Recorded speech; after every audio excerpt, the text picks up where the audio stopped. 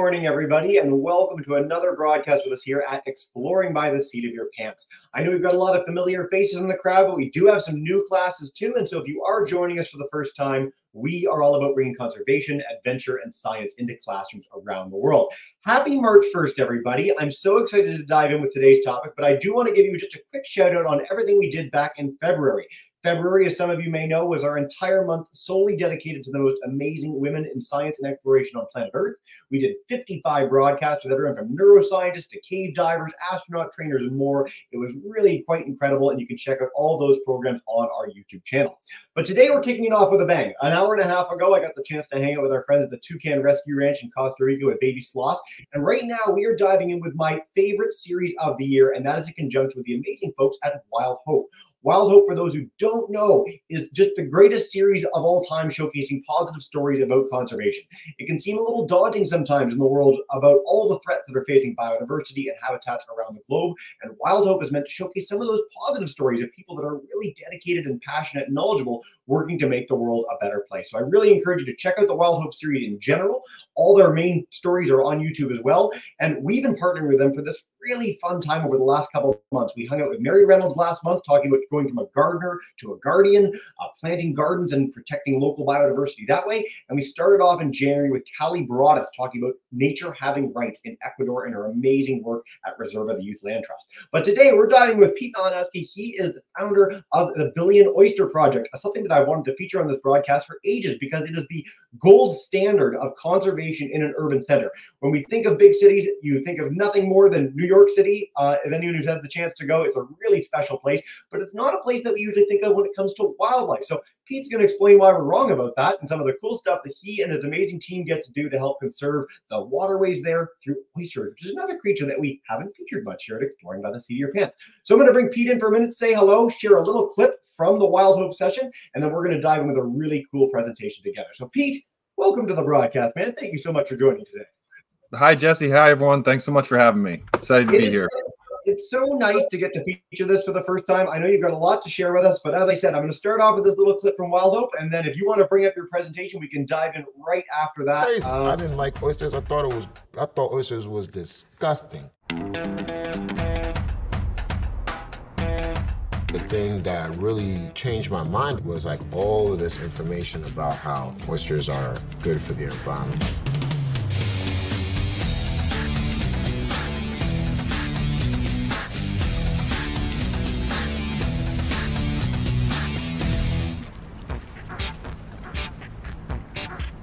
Because they're filter feeders, oysters pull water through their bodies, and the gills sort through the different particles in the water, decide what the oyster's going to eat and what it's going to reject.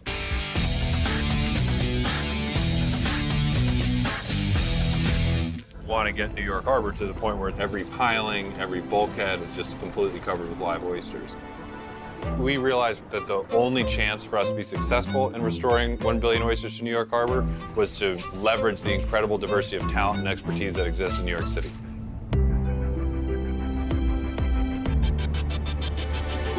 Get as many people involved as possible, we'll be able to do this hard thing together. And that's something that is exciting. That's something we can all kind of get excited about. Let's go, let's go, let's go. How cool is that? I love the the con- the contrast between the tank with oysters and not. Like that is quite incredible. How long does that take? Like an hour? Yeah, just like an hour. And so we've got. So I mean, you- you're so far beyond a dozen oysters in a tank here. They talked about over a hundred million have been planted so far. Um, where are you at now? Is there like a latest update on how many you've gone and, and what sort of the next couple of years might hold? Yeah, so we uh, so far in in about the last ten years, we've restored 125 million oysters. So we have 875 million to go, which is a lot, but um, we're doing more every year. So this year we hope to have our first 50 million oyster year during the the summer months, and um, get to a billion oysters in the next 11 years is our goal. I think if anyone can accomplish it, it's you. And I'd love if you take the chance to dive in and share more of the story of everything you've been up to over this last decade. All right, we'll do. I'm going to share my screen here. Perfect. While you're doing that, I'll just say some of our classes might have a few tech problems. If you need to head to YouTube, I promise it, it should work there if you have any trouble with us in StreamYard. Um, but however it works, we'd love to have you. And with that, we will dive in. Let's do it. All right, here we go. So I'm obviously going to be talking about the Billion Oyster Project. I'm going to give a little history of New York City and New York Harbor, and then get into the nuts and bolts of how we are working to restore oysters to New York Harbor. So first of all, here we go. Oh, I want to talk a little bit about myself first. Sorry. So I, I grew up on a small oyster farm, a family-run oyster farm in Fishers Island, New York. It's one of the most beautiful places I've ever been, and I was very lucky to spend a lot of my time growing up in, on, and under the water, working on the farm, swimming around the oysters, and getting to know the ecosystem and how to keep oysters alive through that. And that connection to the natural world was very important for me in developing Billion Oyster Project and uh, trying to provide that type of experience to as many people as possible. So I would ask that everyone here just think for a minute about a place that you like to go or your family likes to go that's outside. Maybe it's a park or a beach or a vacation spot somewhere or a backyard or anything like that. And just think about the how important it is to be able to have an outdoor space that you know. And the reality is that a lot of people in cities, I don't know how many of you live in cities, but young people growing up in cities don't have that opportunity as much as folks like me who grew up in the country. So we want to provide that kind of experience for as many people as possible. Uh, this is this is a picture of Manhattan before development, so in pre-colonial times. And uh, when when colonists first arrived in New York Harbor, they described they sailed over from Europe and they described seeing more animals than they had ever seen anywhere in their entire lives. And they wrote home and said, "We'll never need to go anywhere else for fish. There's more fish here than we could ever possibly eat." and they described not being able to even see the sky for for minutes on end because there were so many birds flying over and being able to catch fish just by lowering a basket over the side of the boat and bringing it back up so we're talking about a waterway a huge 250,000 acre harbor that was entirely full of living things. And that's the history of New York Harbor. That's where we started from. And at that time the backbone of the ecosystem that provided the support for all of that abundance were oyster reefs. So all of the water in New York City used to be full of these big three-dimensional reefs that acted just like coral reefs or like the trees in a forest to create this really interesting and dynamic ecosystem that allowed for all of those fish to survive. And of course, what we did after settling in New York City, what we've done everywhere in the world where there's oysters is in a pretty short amount of time, about 100 years, we ate all of the oysters. And that the oysters were eaten all over the city. Uh, New York City was famous for the for the oysters, and people would travel to New York just to try them, and they were shipped all over the world. And it only took about 100 years for all that entire landscape, 250,000 acres of oyster reefs, to be consumed and removed from the ecosystem. And then after that, and here you can see on the top right, you can see some piles of shell that were harvested from the harbor and oyster cart over here. And then once the harbor had no more oysters in it, there were far fewer fish and other animals. And we turned New York Harbor into a giant dump. And New Yorkers dumped everything trash, human waste, dead horses, all kinds of everything that, that we were done using on the land, we just poured into the harbor. And that created a harbor that was disgusting to be around, dangerous to touch. It smelled bad. It looked bad. It um, you could get sick if you went in the water. It was dangerous, and that existed in New York City for a long time, from the mid 1800s all the way up until the late 1900s. The the harbor in New York City was a off-putting, scary, dangerous, and disgusting place. But that's not true anymore. So now, because of good regulation, the harbor is much cleaner than it used to be. It's no longer you're no longer allowed to pour um, waste or pollution or use the harbor as a trash can. And because of that, the water has gotten much cleaner and it's actually safe to swim in, safe to eat the fish out of most days of the year. There's still definitely some issues facing the harbor water, water quality, but for the most part, it's far cleaner than it was. The problem is that we as New Yorkers who live in the city, even though we live in a city where four of the five boroughs are on islands and there's rivers and bays throughout the throughout the city, and most New Yorkers go over or, or under the water to get to and from work. Most streets in New York end at the water's edge, But despite all of that, we don't think of ourselves as living in a port city or living surrounded by an important natural ecosystem. And that's because there was this hundred year period when the harbor was gross and disgusting. So most New Yorkers still think about the harbor as a scary, polluted place. And that's what we're trying to change with Billion Oyster Project. We're trying to restore the ecosystem, build back the habitat that used to be in the harbor, bring the animals back to the harbor, and get New Yorkers involved in that work so that through the process of being engaged in a large scale ecosystem restoration project, people get excited about the harbor, want to take care of it, and want to live and work and play in, in the water that surrounds the city. So, how do we do that? We launched Billion Oyster Project about 10 years ago now, and we're trying to engage 1 million people in restoring 1 billion oysters by 2035. 1 billion oysters is the enough oysters to get the population to a point where it can grow on its own. And a million people that's 1 in 10 New Yorkers roughly by 2035 so we think that if 1 in 10 New Yorkers play a role in making the harbor a better place then that will change the relationship that the city has with the ecosystem around us around them one of the big ways we do that is working with public school students at the New York Harbor School and at um, middle schools all throughout the city. So, students at the Harbor School specialize in marine careers. So, they learn, they decide whether they want to learn aquaculture, vessel operations, driving boats, marine systems, which is maintaining and fixing boats, marine biology and research, ocean engineering, professional scuba diving, welding, or marine policy and environmental advocacy. And once the students special decide which field they want to specialize in, they have different opportunities to work together with Billion Oyster Project to help restore oysters to New York Harbor. So in this picture, you're seeing students who are in the aquaculture program. They grew the oysters that they're measuring now. So those students grow oysters that we use for our restoration projects and then go into the field here right under the Manhattan Bridge in Brooklyn and measure the oysters that they've restored, make sure that they're surviving and providing habitat for other animals.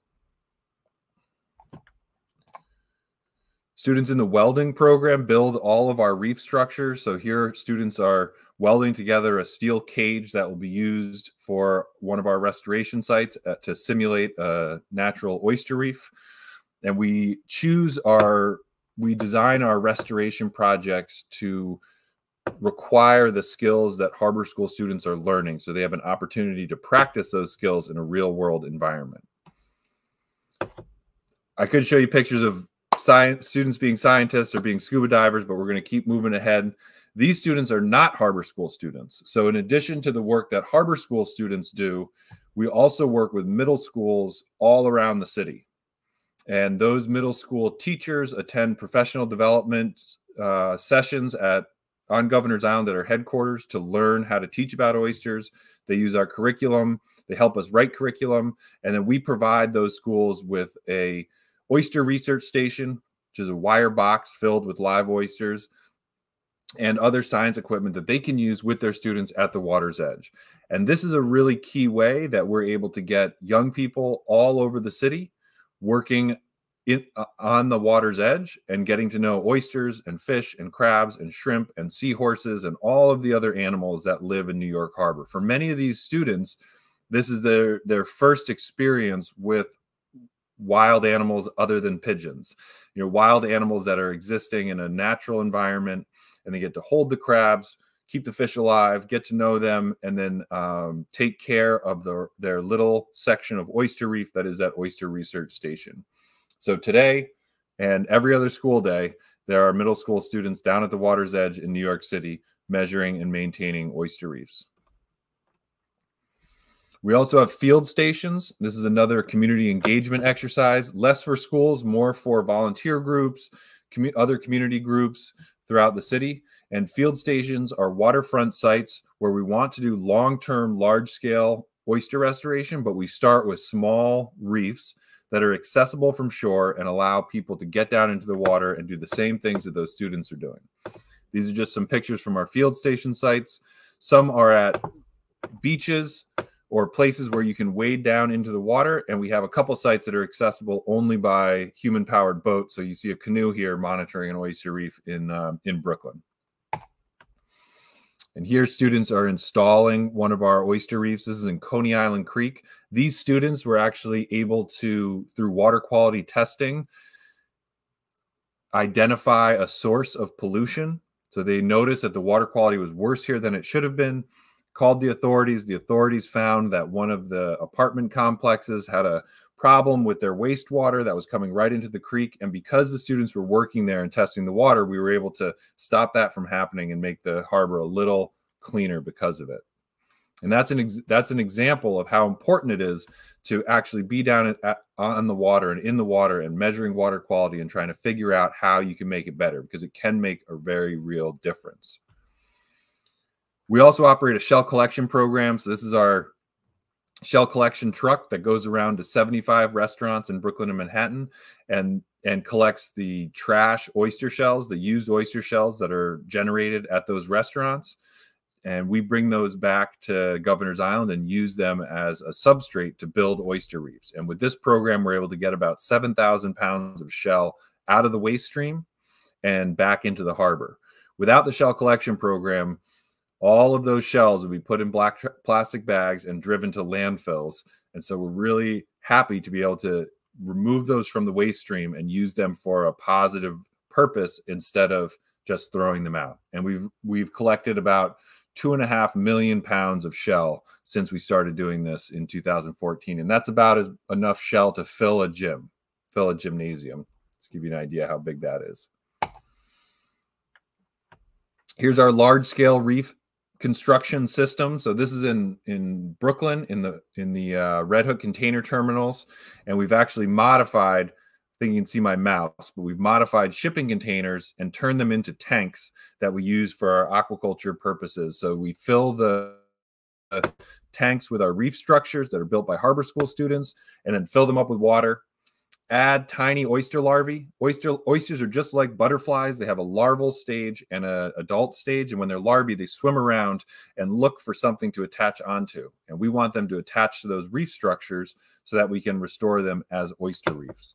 And you can see here the containers, the tanks filled with oysters and reef structures being placed onto a barge for deployment. And I think the next, yeah, so here's that barge. And let's see if this works. I can show you what that looks like. So this is a barge ready for deployment. The oysters at this point are on the reef structures. You can see on the right what they look like. They're just tiny little dots on these shells that we've collected from restaurants. You can see the little oysters here. And then the crane is lifting those reef structures. Each one of those reef structures, let's go back so you can see that again. That's the cool part. So the each one of those reef structures has about 100,000 tiny little oysters on it. And they go into the water in the uh, in an array to simulate a large large oyster reef that used to be in this exact spot. And the idea is over time the oysters grow through the cages and be become a small oyster reef there. And you can see what it looks like. So this is a small section of an oyster reef that's been in the water for about a year and a half. And you can see that the oysters grow through the mesh of the cage and are sticking out and you can really see how they create this three-dimensional habitat that can be used by fish shrimp crabs and all these other animals. Because without the oysters there the bottom is flat and featureless. There's nowhere to hide nothing to eat and the fish have nowhere to go. But once you put an oyster reef down it immediately becomes a center for animals to congregate around. They eat the oysters, they eat the oysters' poop, they eat um, all the other little worms and critters that, that come to live amongst the oyster reef. And so, in about two weeks after we put an oyster reef in the water, that site becomes is just a uh, goes from being flat and empty to being totally full of fish, shrimp, crabs, snails, all kinds of cool stuff. Super exciting to watch that happen. These are just a few of the animals we see regularly on our oyster reefs. So you have a, a sponge, a seahorse, an oyster toadfish that actually eats the oysters, a mud, mud, crab, which also eats the oysters, really pretty tunicate. These are, uh, it's called Botryllus. It's a golden star tunicate. They're very nice to look at. And then oyster drills, which also eat the oysters. But that's one of the things that oysters do is they provide food for other animals. So we want all the animals to have the food they need, and some of those are actually eating the oysters as well. This is a tough slide to look at, so sorry about that. But what you have here is th this on the left is New York Harbor. You have the Hudson River coming down into the harbor, the Upper Bay here, when this is where the Statue of Liberty is, and Governor's Island and then out into Long Island Sound, up the East River out into Long Island Sound. And the circles are our oyster reefs. And we're trying, what we're trying to do is spread out this new population of oysters that we're restoring to the harbor so that each each part of the harbor has the benefit of that restoration and the oysters when they re reproduce their larvae is, is coming from all sides to repopulate the area in the middle where the oysters used to be and then on the right, you can see our the waterfront sites where we have oyster research stations, community reefs, field stations, water quality testing, where we're again trying to spread that out all around the city so that we can get an idea of how things are doing and work to restore oysters from all sides. This is a um, a plan for a new development that is so a new residential development in in New York City. Doesn't have anything to do with Billion Oyster Project, except that the people building the project have decided to incorporate oyster reefs into their into their design. Have a beach where people can walk down into the water. Have human powered boating, so kayaks and canoes, and actually change the shoreline of New York City to allow New Yorkers more access to the harbor. And we like to think that this type of project is an example of how the city can change to make the harbor more a part of everyday life in the city. And these last two slides are just pictures of New York Harbor that I like. So I grew up working on the water and uh, spent a lot of time really enjoying how nice water is to look at and how it changes your perspective being on the water and looking back at the land. And I've been very lucky to have that experience in New York City a lot. Also, I work on the water now, and New York Harbor has become you know one of my favorite places in the entire world to spend my time just because it's so nice to look at and it's um, it makes you appreciate the city in a different way being on the water and you can tell here just looking at the slide that there's a lot of water in just a little city and that's kind of a funny way to think about new york city but it's all about being on the water and changing how you think about the world around you. And this is the East River, which many people think of as a toxic waste dump. I'm here to tell you that it is not a toxic waste dump. It can be incredibly beautiful, nice to swim in. I actually once a year swim across the East River to go to work every um, to go to my office on Governor's Island. And it's just um, New York Harbor is a beautiful place. And if we're able to restore oyster reefs, we can see this this place full of animals once again like it used to be and um, it's coming back. It's happening. So there are more. There were over 200 whales sighted in New York Harbor this year alone. We see dolphins, seals, seahorses that I mentioned, all kinds of cool birds. They're all coming back to the harbor because the water's cleaner. There's more habitat there, and it's just a super exciting time to be doing this kind of work in a place like New York City because you can actually watch the change happen before your eyes. And I dream of a time when everyone in New York City knows that they can walk down to the water's edge and count on seeing fish and birds and seals and whales and dolphins and all of that. And I think that if we able to get everyone working together, that we'll be able to get there. And I think that's that's all I have. I have a little more background happy to talk about, but I'm really excited to hear your questions and do any of that. I'm going to stop sharing my screen now. Pete, uh, I get the privilege in this job of getting to hang out with some very cool people all over the world, and I get to hang out with all sorts of great conservation stories and feature them in these broadcasts. I have donated in the middle of a broadcast five times ever, and this was one of them. So I, uh, 25 bucks, it's a little bit, uh, it's a little start, but like you've thought of everything. That is an amazing story, and thank you so much for sharing it. Honestly, that was incredible. Um, I want to stress for our classes too. Like it's amazing to have this chance to talk about New York City Harbor today, but find local waterways wherever you are. If you're in South Carolina, if you're in London, Ontario, we've got classes in Maryland, uh, all over North America today. Go to your local water body. Maybe it's a river, a stream, a pond. Uh, there are efforts in Toronto, where I grew up, to clean up the Don for the Olympics coming this summer in Paris. They're cleaning up the Seine, and it's going to be swimmable for the first time in about 100 years. It's going to be part of the Olympic ceremony. So there's this huge movement now to recognize that these bodies of water that are in our big cities, in our urban areas, are worthy of protection, are important to save the biodiversity in them. And there's honestly, there's never been a better story than this one. So, way to go, Pete. That was great. Um, we're going to dive in with questions, as you said. I'm going to take a quick one from our online crews and then our environmental leaders. I'm heading to you guys, our help crew, uh, grade 10s, in just a second. But our first question was How long does it take to raise the oysters? You talked about this really cool project with schools. Um, is this months? Is it years? What's the deal? Yeah. So oysters spend um, when when they're being grown.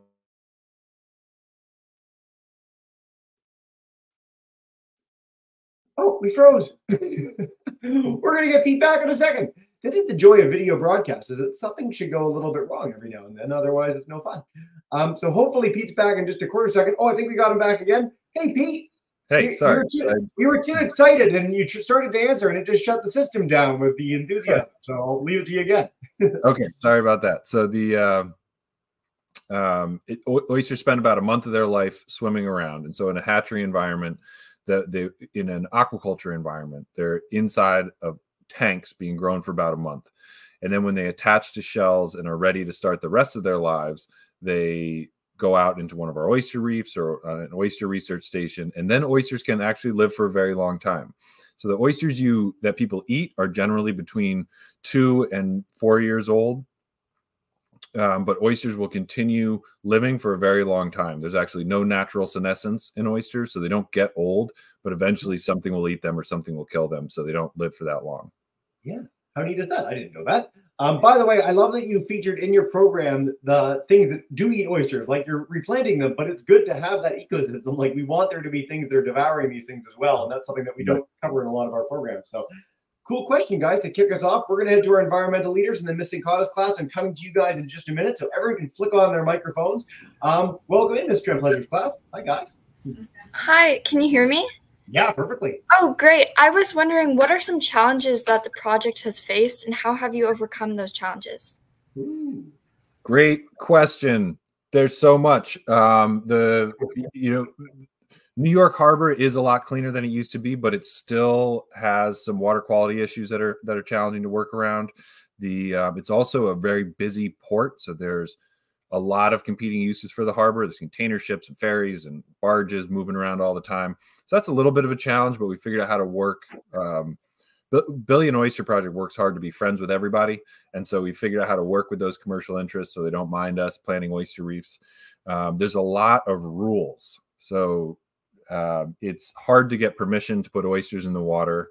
It's hard to get permission to put teenagers in the water in scuba gear. It's hard to get permission to change what teaching and learning looks like in high schools. It's hard for teachers to get permission to get their uh, students out of class on field trips. So there's a lot of you know what we think of as red tape, that um, bureaucracy that we have to find our way through in order to make things happen, and that's been a big challenge. You know, there's a there's a million rules to keep bad things out of the water, but there are no rules to help put good things back, and that's been a real challenge for us. Um, you know another challenge is that oysters are their um, their offspring the larvae swim swim and are driven by current far currents far away from the, where their parents are and there's no way to track or know where they're going to go and so in order to build a population back we have to put oysters in a lot of different places and, and just hope that some of the babies will end up where some of our reef sites are and that's that's a pretty complex and challenging problem uh, we're we're a non nonprofit organization, so we're all of our work is based on philanthropy. So we're always limited by the amount of fund funding we have, the amount of money we have to do our work. That's always a challenge. Uh, what else? You know, it's not always easy to train teenagers to do the heavy lifting of oyster restoration. That's a challenge, and been really impressed with my time. I used to be a high school teacher at, at the New York Harbor School um, watching you know, 14, 15, 16, 17, 18 year olds really rise to that challenge. That's been fun. Sometimes our oyster reefs don't work at all. So all of them are research projects. We're trying to figure out where the best place is and where they, um, you know, where the reef will persist and survive. And sometimes we'll put a reef down and it will be immediately covered with mud. Sometimes all of the oysters will be immediately eaten by other animals, and sometimes they do really well. And so it's all about just trial and error, learning from what works and what doesn't work. We always learn more from what doesn't work than we do from what does work, and that's a good lesson from Billion Oyster Project. But those those failures are really opportunities for learning and changing our strategy. Is that all, Pete? Those are the only challenges. My goodness. Um, I did love when you showcased this high school at the beginning because, like, I don't know about you kids, but like that looks like the coolest high school of all time. Like, I wish I had a school like that growing up, and I had some pretty cool opportunities in school. Um, I want to note for teenagers, in fact, for younger than teenagers, we talked about scuba diving very briefly in that answer. Uh, at eight years old, you can start on the path to being a scuba diver with this program. So I always, whenever we get to highlight scuba diving, it opens up 70% of the world to you. So if you want to explore New York Harbor or explore coral reefs next month, when we bring on our, our folks in Hawaii talking about coral restoration, uh, that's a really magical way of exploring the world. So do check that out. Speaking of kids that are old enough to start on that path, we're going to head to Miss Incata's class. Um, your school just joining us all day today. So let's see if this all works. Hello, guys, South Carolina. Hi. Oh, perfect. Welcome in. so I'm actually. Got any questions? I'm actually a teacher and in South Carolina now, but I was part of the Billion Oyster Project Fellowship like pre-COVID before I moved down here. So they're like, Miss Incata talks about oysters a lot and aquaculture. They probably think I'm crazy. But I was like, when I saw this, I said, we have to jump on. Um, we've been talking about the nitrogen cycle and all that. So I've been able to tie in what I learned from the Billion Oyster Project into that. Um, Aiden, come in front of the camera. You have a question for Mr. Malinowski? Why did you pick this job? What made job? that's, a, that's a great question. Um, the so I moved to New York City after uh, after I graduated from college and was trying to become a teacher. That was my plan was to be a teacher, and I and I found the New York Harbor School, and it was a school dedicated to hands-on experiential education, and that made a ton of sense to me. And so I started volunteering with the school, started talking about growing oysters at the school. We had we had a fish we had fish tanks in our classroom. I flooded the school a bunch of times with my aquaculture systems I was building in a classroom in the middle of Brooklyn. And then when the school moved to Governor's Island, we were able to grow oysters at the school and we just started doing it. And so the, it, my job didn't exist before I I had it. So it's not like I saw a job and said I want to I want that job. We just me and the other founders of Billion Oyster Project and people we work we were working with just built this nonprofit, built this organization around an idea and then um, and then it became a job. So it was more, it was less about wanting a job and more about wanting to accomplish a specific thing, restore oysters to New York Harbor with public school students, and that just just trying to do that, and it became a job. Yep. Uh, that was a very thoughtful answer to a very direct question. So thank you for that, guys.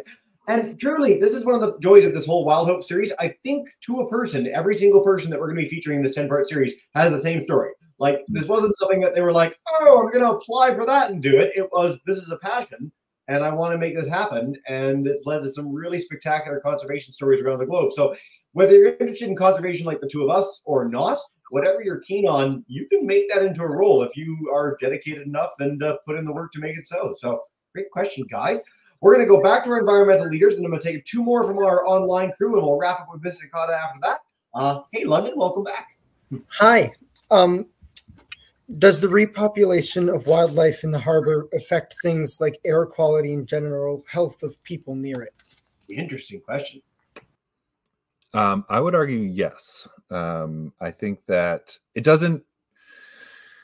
So, so to air quality and uh, water quality, I don't think there's an appreciable impact, a significant impact from the wildlife. The, the people, there's so many people in New York City that the impact that people have on air quality and water quality is so much more than animals would be able to have. So I don't think it affects air quality or water quality to have the wildlife back in the harbor, but it does affect the quality of life for all New Yorkers.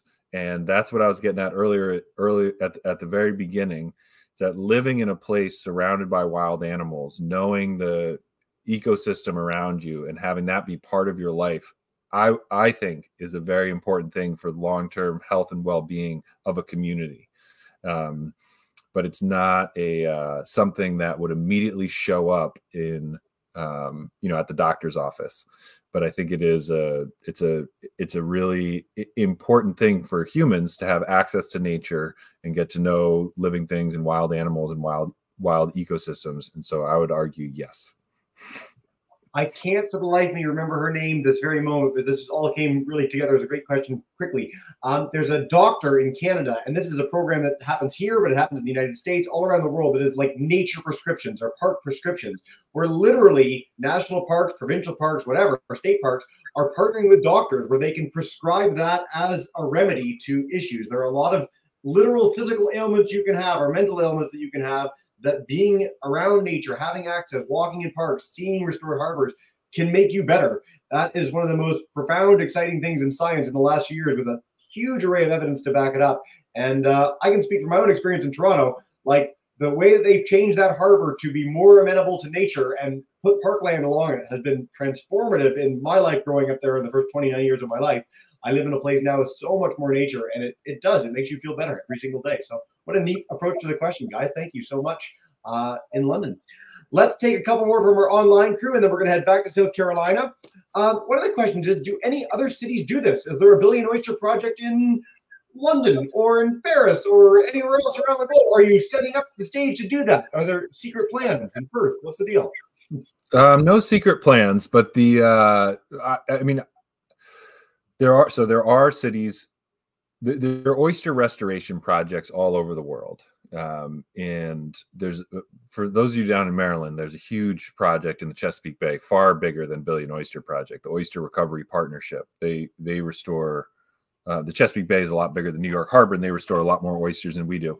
Uh, what makes billion oyster project really unique is that it's happening in the middle of a big city and and it's the direct involvement of young people um, so I, I, think that what we've created here in New York can be a model for any any uh, waterfront city in the world.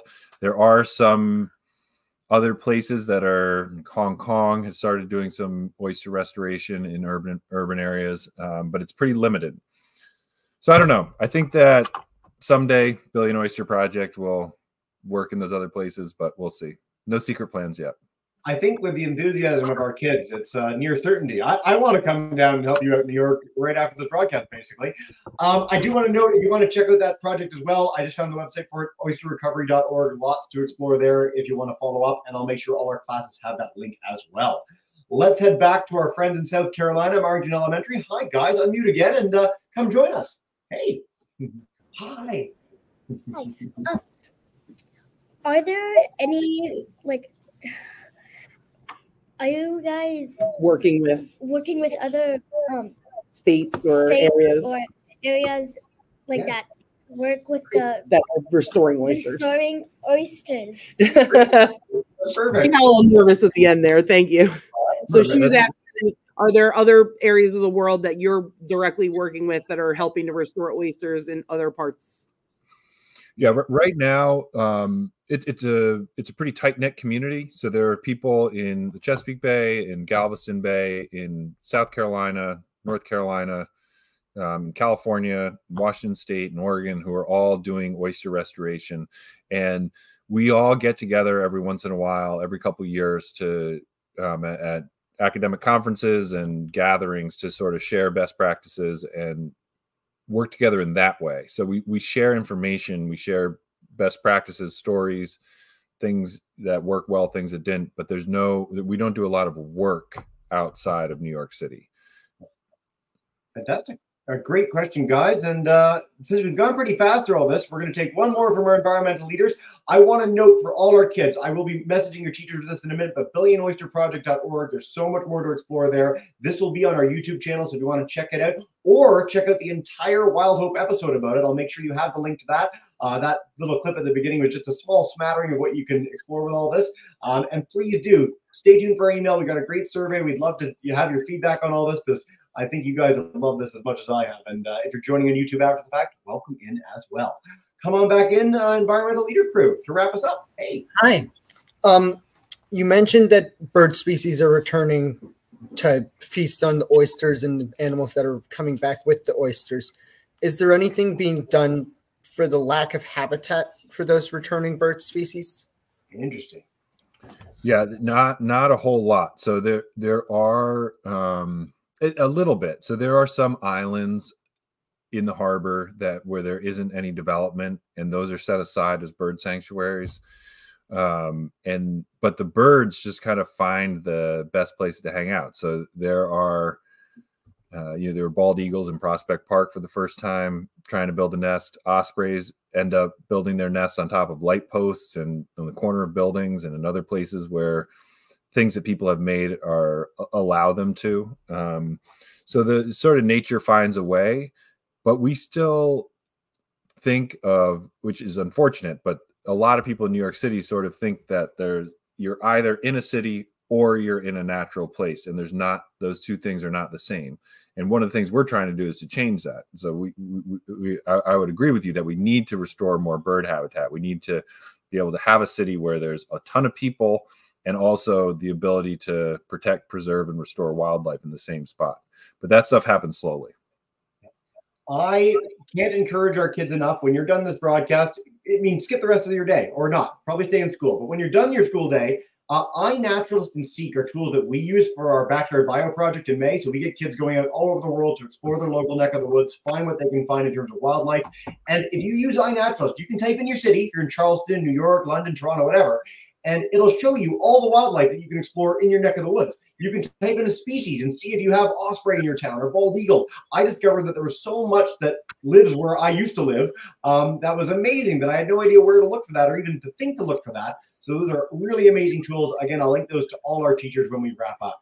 Um, Pete, before we, we finish and we bring in our classes to say thank you and farewell, is there any last message you want to share with our kids just to drive the point home and lead them on more Billion Oyster Project explorations? Yeah, all, all, all I'll, I'll, I'll say is that as having been involved in this work in a very various ways for the last 15 years, I'm every day I'm impressed by the ability of young people, students your age, to change the situation, to be involved in making schools more sustainable, composting programs, recycling programs, finding new ways to uh, restore nature where they live, finding new ways to make sure that trash doesn't end up all over your school. Um, there's you all have an amazing capacity to change the world just through the decisions you make every day and what you're learning in school. And that has been the that's absolutely the best part of my job is getting to see that all the time. And so i encourage you all to you know, try to make a difference in everything that you do it's a phrase that's overused that this generation you know talking about a generation in the collective but i really think like kids 16 and under like you guys are the most involved knowledgeable and passionate group ever when it comes to environmental issues like we grew up and everyone assumed my generation would be the one to take the charge and we were okay we did pretty well but like you guys march in groups of 500,000 and you know all the facts. And I mean, I get to see this every day in these programs where you've done all the research in advance of meeting people like Pete. So keep it up. You guys are amazing. Uh, if you guys ever want more environmental projects, reach out. We'd be happy to find you some cool things close to home or globally.